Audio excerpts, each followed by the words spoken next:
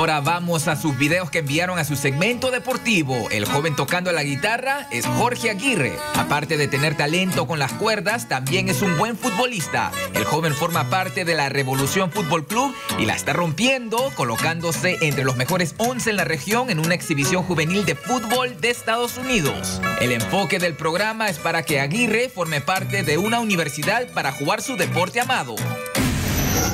Seguimos y aquí están los nuevos campeones del torneo mundial de agarres o grappling que fue en Atlantic City, Nueva Jersey. Estos peleadores forman parte de la Academia de Artes Marciales Pereira en Reading. El torneo fue el 24 y 25 de abril en el Hotel Showboat.